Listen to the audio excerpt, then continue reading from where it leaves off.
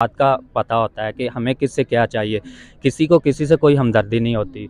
और दूसरी बात यह है कि इंडिया वो इस चीज़ को बड़ी अच्छी तरह समझ रहा है कि हमें सिर्फ़ अपने फ़ायदे पे काम करना है। और दूसरी तरफ़ हमारा ये है कि, हमारा मसला ये है कि हमें एज अ नेशन तो हमारे अगेंस्ट काफ़ी स्ट्रॉन्ग है, उनकी पॉपुलेशन हमारे अगेंस्ट काफ़ी ज़्यादा है। तो उस वजह से जितनी पॉपुलेशन ज़्यादा है, उतने लोग जो हैं वो अब्रॉड जाते हैं। उधर वो अच्छे तरीके से काम कर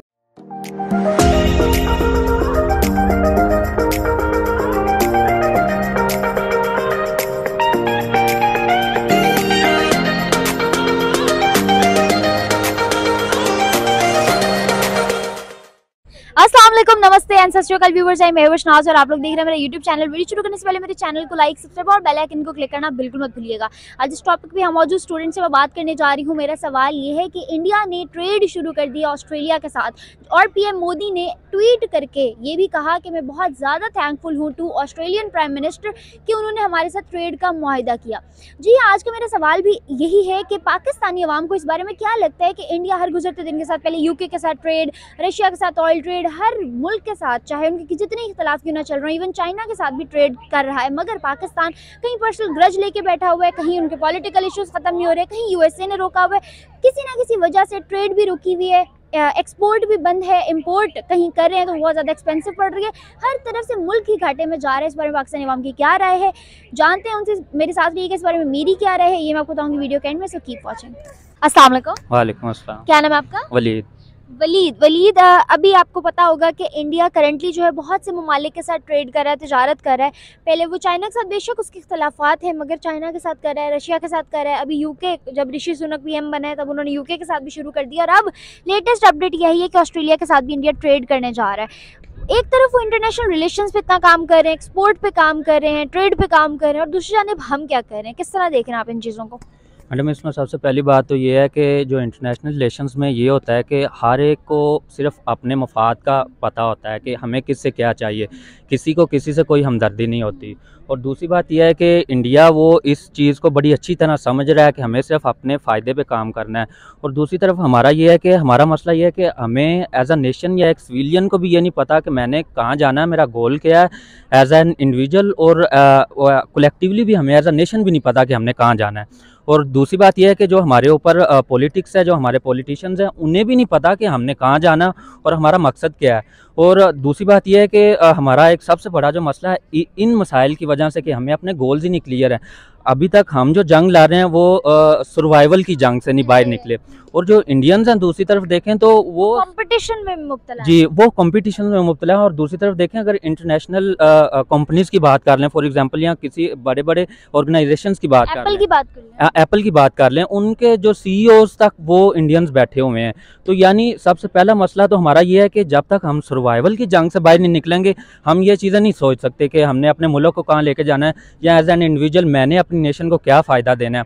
और दूसरी बात आपने इंटरनेशनल रिलेशन की की तो फिर वो जब तक हमारी पॉलिटिक्स भी ये इन्हीं मसलों में रहेगी कि हमारा क्या बनेगा, हमने इस आवाम से सिर्फ़ पैसा निकलवाना है या इनको फ़ायदा कोई नहीं देना। तो जब तक ये वाला स्नैरियो रहेगा या इस तरह की माइंडसेट रहेगा हमारे पॉलिटिशियंस का तो तब तक फिर हम ग्रोथ नहीं कर सकते। ग्रोथ नहीं कर सकते। और सबसे बड़ी वजह जो ग्रोथ की है वो ये है कि इस वक्त जो पॉलिटिशियंस काम कर रहे हैं वो सिर्फ़ अपने लिए काम कर रहे हैं कि मेरी पोजीशन कैसे मज़बूत हो सकती है या मेरे आने वाले नस्लों के लिए जो है ना मैं कैसे एक रोड बिल्ड कर सकता हूँ कि ये आ, आगे जो इन्हें कोई मसला ना हो। ऐसा ही है। मुझे बताएँ ट्रेड कितना बड़ा रोल प्ले करती है किसी भी मुल्क की इकोनॉमी में? मैम ट्रेड देखें, सबसे मतलब मेजर रोल जो है, वो ट्रेड का ही है ना। कि अगर हमें फॉर एग्जांपल हमारे प्राइम मिनिस्टर जो प्रीवियस प्राइम मिनिस्टर थे इमरान खान थे वो ट्रेड की बात कर रहे थे ट्रेड की नहीं वो कह रहे थे कि जो हमारे ओवरसीज़ पाकिस्तानी है वो हमें इतने डॉलर्स भेज रहे हैं इतने डॉलर्स भेज रहे हैं। तो बेसिकली डॉलर्स आएँगे कैसे मुल्क के अंदर? वो ट्रेड से ही आएँगे ना। कुछ चीज़ दे रहे होंगे तो फिर ही डॉलर्स हमारे पास आएँगे। अगर तो हम खरीद रहे हैं जो कि हम कर रहे हैं सिर्फ़ खरीद बेच कम रहे हैं और ख़रीद ज़्यादा रहे हैं तो मुल्क की इकोनॉमी मुल्क की मुआशे तबाह करने वाली जी बल्कि हम डॉलर लाने के बजाय हम तो डॉलर बाहर भेज रहे हैं। तो फिर यही मसला ना कि हम आ, हमारा तब तक इकोनॉमी स्टेबल नहीं होगी। लेकिन सबसे बड़ी मसला मसला ये है कि जितनी भी डिस्कशंस कर लेना उन डिस्कशंस का नतीजा नहीं निकलना क्योंकि वो हम उलझते ही जाएँगे। मसला ये है कि हमें सबसे पहले तो ये चीज़ सेट करनी है ना कि सर्वाइवल की जंग से कैसे बाहर निकलना है कि वो जो एक पुराना नारा था कि हमारा जो है ना रोटी कपड़ा और मकान सिर्फ़ अभी तक हम वो जो सेवेंटी हम उसी नारे उसी स्लोगन में जी उसी स्लोगन के ऊपर ही खड़े हुए हैं कि जो हमें मिला था वो शायद अब उस टाइम के पॉलिटिशियंस ने पता नहीं अब किस परस्पेक्टिव में दिया था कि शायद यही चीज़ दिखाने के लिए कि इससे बाहर निकल आए हम। लेकिन वो मसला ये है कि हम स्टक ही वहाँ पे हो गए। तो किसी को नहीं पता कि वो इसलिए था कि उसके अंदर ही रहना है या कभी उससे। बाहर वो शायद हो सकता है कि उस उस टाइम के जो लीडर थे शायद फॉर शायद भुट्टो साहब थे उन्होंने इस वजह से दिखाया था कि मेरी कौम को एक मतलब एक बेसिक गोल जो है ना वो क्लियर हो जाए कि सबसे पहले इस मसले को ओवरकम करना तब है। तब हम लोग जो है आफ्टर पार्टीशन इतने स्टेबल भी नहीं हो पा रहे थे हमें वो टाइम ड्यूरेशन जो सारा उसके लिए चाहिए था मगर अब अगर हम बात करें तो यार पचहत्तर साल हो चुके हैं। अब बस मुझे लगता है कि अब रोटी कपड़ा मकान के अलावा भी हमें सोचना चाहिए अपनी मौशियत का सोचना चाहिए क्योंकि मुल्क बहुत पीछे रह चुका है। दूसरी जानेब अभी जैसे मैंने इंडिया का वाला सवाल किया आपसे उसकी अगर बात करूँ तो ऑस्ट्रेलिया के साथ ट्रेड उनके लिए नो डाउट कहीं भी तजारत आप करते हो तो आपके लिए फ़ायदेमंद ही होती है। ये हमारे रिलीजन की एक चीज़ थी जिसको अपना दूसरे रहे और हम लोग उसी चीज़ पे फोकस नहीं कर रहे। मैम अब इसमें एक बात ना बहुत बड़ी बात ये भी है कि जो अ, देखें करप्शन हमारे यहाँ है और इंतहा की है और करप्शन इंडिया के अंदर भी है।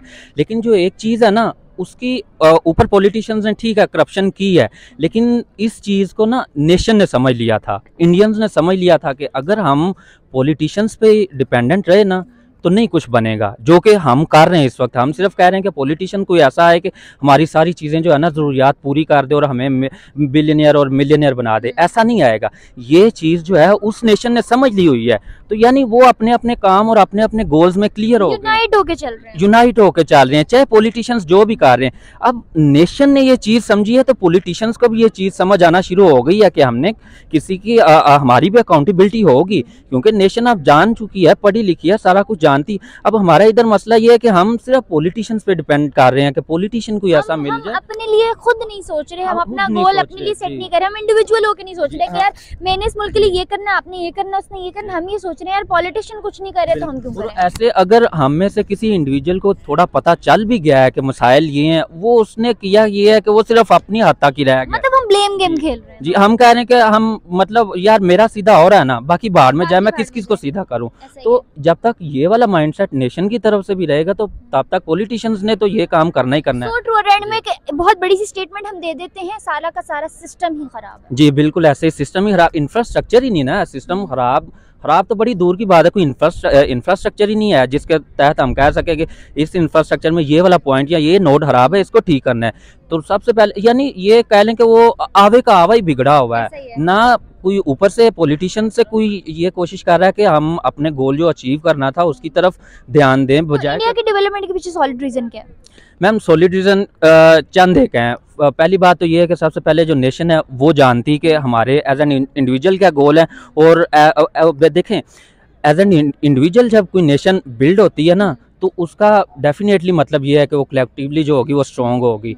तो हमारा तरफ़ मसला ये पहली बात ये जो आपने कहा कि उसका क्या सॉलिड रीज़न है। एक ये बात है कि वो जानते हैं कि हमने कहाँ जाना और हमारा मकसद पर्पस पता। पर्पस पता है। और दूसरी बात उन्हें ये पता है कि इस पर्पस को अचीव कैसे करना है। यानी उनका मतलब इतना माइंडसेट क्लियर होता है। तक पहुँचने का पास जो पाथवे है ना वो उनको पाथवे उन्हें क्लियर होता है। तो दूसरी बात तो ये होगी और तीसरी बात यह है कि जब तक जब तक पर्पज़ नहीं होगा तो वो चीज़ें कि उसका रोडवे क्या है वो चीज़ें नहीं डिफाइन कर सकते। तो मेरे ख्याल में सबसे बड़ी वजह ये दो बातें हैं कि उन्हें एक अपना पर्पज़ पता है और दूसरी बात उस पर्पज़ का या उस गोल को अचीव कैसे करना है। ये बात पता है। और हम यहीं पे लैक कर रहे हैं। हम यहीं पे लैक कर रहे हैं। हमें ना एज एन इंडिविजुअल ना कलेक्टिवली ना गोल पता और गोल नहीं पता होगा तो फिर जारी बात है रोड का कैसे पता चलेगा कि उसको किस रोड के ज़रिए किस तरीके से जाके अचीव करना है। Okay thank you so much hopefully हमारे व्यूअर्स को आपकी राय पसंद आई वालेकुम वालेकुम सलाम। क्या नाम आपका? हसीब इमरान। हसीब। हसीब मेरा सवाल ये है कि पहले इंडिया के बहुत सारे अख्तलाफात चल रहे थे चाइना के साथ हमेशा से चलते आ रहे हैं मगर उन्होंने चाइना के साथ अपनी ट्रेड ख़त्म नहीं की। दूसरी जानब अगर बात की जाए यूके के पीएम बने ऋषि सुनक उन्होंने उनके साथ भी ट्रेड स्टार्ट कर ली। अब रिसेंट न्यूज़ ये है कि इंडिया ने ऑस्ट्रेलिया के साथ भी ट्रेड जारी कर लिया और पीएम मोदी ने ट्वीट की है बहुत ज़्यादा जो है ना सराहा भी इस चीज़ को और थैंकफुल भी हुए हैं। ऑस्ट्रेलिया के प्राइम मिनिस्टर के। मुझे बताएँ कि एक जानब हमारा ही नेबरिंग कंट्री हमारे साथ ही अलग हो के इतना ज़्यादा इम्पोर्ट एक्सपोर्ट पे ट्रेड पे मैन्युफैक्चरिंग पे प्रोडक्शन पे आईटी पे इतना फोकस कर रहा है। ऑन अनदर हैंड से डिफिसी पाकिस्तान तो we are standing no we are lacking everywhere तो व्हाट्स द रीज़न बिहाइंड इसकी पहली वजह ये है कि हमारे, जो सोसाइटी है, उसमें माइंडसेट लोगों का इतना ब्रॉड नहीं है। वो इस चीज़ को प्रमोट नहीं करते कि यार, अगर कोई अच्छा काम कर रहा है तो उसको अप्रिशिएट किया जाए। वो उसको बल्कि वो कहते हैं कि क्यों ऐसे किया इसने? मतलब ये हमारी सोसाइटी के, हमारे कल्चर के अगेंस्ट है ये। तो फिर ज़्यादातर कोशिश ये होती है कि पाकिस्तानियों के वो यहाँ से अब्रॉड चले जाते हैं। उधर जाके अंडर किसी के काम कर होते हैं, अंग्रेज़ों के काम कर होते हैं या किसी इंडियंस के अंदर काम कर होते हैं कंपनीज़ के अंदर। तो अगर ये चीज़ हम लोग अवॉइड करें तो हमारा पाकिस्तान में लोग काम करना शुरू करें तो उससे काफ़ी बेहतर हो जाएगा कि हमारा जो हमारी जो इकनॉमी है वो काफ़ी स्ट्रांग हो और सकती है शायद यही वजह है कि पाकिस्तान के फॉरेन रिलेशंस कभी भी बेहतर नहीं हो पाते दूसरे मुल्कों के साथ क्योंकि हम एक्सेप्ट नहीं कर रहे होते दूसरे कल्चर्स को। जी डेफिनेटली और दूसरी एक तो ये चीज़ है कि काफ़ी ज़्यादा ना पाकिस्तान के हवाले से और मुस्लिम के हवाले से मुस्लिम होने की वजह से काफ़ी लोगों ने वो बीच में रिलीजन बाउंड्रीज बना दी। इस्लामोफोबिया जी एग्जैक्टली इस्लामोफोबिया है। और काफ़ी ज़्यादा कॉन्फ्लिक्स क्रिएट किए हुए हैं कि पाकिस्तानी ऐसे हैं। और ऊपर से कुछ ऐसे भी एग्जांपल्स हैं कि पाकिस्तानी बाहर गए हैं तो उनकी वजह से कुछ अगर क्योस क्रिएट हुआ है या वैसे ही उनका नाम यूज़ कर लिया तो लोग वैसे ही वो पोर्ट्रे करते हैं कि टेररिज्म इमेज बना हुआ है। एग्जैक्टली टेररिज्म इमेज जो पाकिस्तान का बन चुका है तो उसकी वजह से काफ़ी और उसके बाद फिर अफगान के साथ जो रिलेशन और फिर यूएस ने जो हमारे ऊपर वो वो कहते हैं वो लगाए हैं यस एग्जैक्ट अच्छा और अगर बात करूँ इंडिया की तो इंडिया के साथ ऐसा कोई भी हैंड अभी तक हमारे सामने इतना बड़ा प्लेटफॉर्म पे नहीं आ रहा कि उनको ट्रोल किया जा रहा हो दूसरे ममालिक के सामने उनको डिग्रेड किया गया हो या उनकी लेग पुलिंग हुई हो हर जगह वो जहाँ जाते हैं उनको रिस्पेक्ट दी जाती है उनके प्राइम मिनिस्टर्स को उनके लोगों को सराहा जाता है अच्छी कंपनीज़ में अच्छे पर फाइज किया जाता है उनके पासपोर्ट को वैल्यू किया जाता है जबकि हमारे साथ ये सारी चीज़ें बिल्कुल अपोजिट होती हैं। क्या रीज़न है उनकी इतनी पॉजिटिविटी की? अगेन मैं यही कहूँगा कि उनकी इकोनॉमी काफ़ी स्ट्रॉन्ग है। उनके जो लिटरेसी रेट है वो हमारे अगेंस्ट काफ़ी स्ट्रॉन्ग है उनकी पॉपुलेशन हमारे अगेंस्ट काफ़ी ज़्यादा है। तो उस वजह से जितनी पॉपुलेशन ज़्यादा है उतने लोग जो हैं वो अब्रॉड जाते हैं। उधर वो अच्छे तरीके से काम करते हैं कोई उनके बीच में रिकॉर्ड्स उनके काफ़ी अच्छा क्लीन किसी वक्त में तो हम कहते थे कि हमारे कंपैरेटिवली लेकिन अब तो शायद हम की बात नहीं कर सकते उसकी रीज़न ये है कि उनकी इकोनॉमी का हमारे इकोनॉमी से तो शायद कोई ताल्लुक नहीं बनता। उनकी एक कंपनी का जो जीडीपी है ना वो हमारे टोटल जीडीपी से ज़्यादा है। जी एग्जैक्टली exactly. क्योंकि उनका ये होता है कि वो फॉरेन टर्म्स अपने काफ़ी ज़्यादा इंप्रूव करने की कोशिश करते हैं। फिर उसके बाद अगर कोई चीज़ नई इंट्रोड्यूस होती है जैसे टेस्ला इंट्रोड्यूस होता है इलेक्ट्रिक कार तो उनकी कोशिश होगी कि हम लोग अपने विद इन कंट्री कोई चीज़ ऐसे इंट्रोड्यूस करें। वो कोशिश करते हैं कि हम विद इन कंट्री प्रोडक्शन और मैन्युफैक्चरिंग जी ताकि वो जो एक्स, जो है एक्सपोर्ट कॉस्ट है जो इम्पोर्ट कॉस्ट है वो कम हो जाए इनकी एक्सपोर्ट बढ़ जाए ज़्यादा। ये चीज़ भी आ जाती है फिर उसके बाद फ्यूचर हम कहीं स्टैंड कर करते हुए नज़र आ रहे हैं या कर पाएँगे? जब तक पॉलिटिक्स हमारे जो पॉलिटिशियंस हैं वो ऐसे हैं जो फाइट कर रहे हैं सीट के लिए, जो कंट्री को बिल्कुल इग्नोर कर रहे हैं, अपनी अपनी गुडविल्स को देखना चाह रहे हैं, अपनी ख्वाहिशों को देखना चाह रहे हैं तो मेरे ख्याल में मुश्किल है पाकिस्तान के लिए। अनटिल और अनलेस हमारे जो सिविलियंस हमारे जो जो है नेशन है, वो स्टैंड स्टैंड करती है इनके अगेंस्ट तो तब चांसेस हैं। और ऑनेस्टी और जो जो हमारे इस्लामिक वैल्यूज़ हैं हम उनको फॉलो करें तो हम लोग कर सकते हैं। क्योंकि टेक्निकली देखा जाए, जो फॉरेन कंट्रीज़ हैं, वो हमारे इस्लामिक वैल्यूज़ को फॉलो कर रही हैं और हम लोग अ मुस्लिम नहीं फॉलो कर पा रहे हैं उनको पूरा। बहुत अच्छा लगा आपसे बात करके। बहुत ही ऑनेस्ट प्रोडक्टिव और इन्फॉर्मेटिव रिव्यू था। होपफुली हमारे व्यूअर्स को पसंद आया होगा। कि व्यूअर्स एज होगा सीन के हमने लिए पाकिस्तानी अवाम के जवाब और देखें उनके रिएक्शंस के उनको क्या लगता है। इंडिया हर गुजरते दिन के साथ ट्रेड करने चाह रहा है but where we actually stand हमारी ट्रेड क्यों बंद है? ये थी पाकिस्तानी अवाम की राय। अगर जानी चाहे मेरी राय तो मुझे ये लगता है कि उससे उसके लिए हमें पहले एक दूसरे के साथ मिल के काम करना होगा ताकि इन फ्यूचर हम दूसरे ममालिक के साथ भी ताल्लुकात बेहतर कर सकें। बाहर वाले ममालिक के साथ ताल्लुकात बेहतर करने से पहले हमें आपस के ताल्लुकात को सही करना होगा ताकि हम भी ऐसी ट्रेड्स में पार्टिसिपेट कर सकें, हम भी इतनी बड़ी मीटिंग और कॉन्फ्रेंसेज का पार्ट बन सकें। इसके साथ साथ आज की वीडियो से मुझे इजाज़त फर्दर वीडियोस के लिए मेरे चैनल को लाइक सब्सक्राइब और बेल आइकन को क्लिक करना बिल्कुल भूलिएगा। तब तक के लिए अल्लाह हाफ़िज़।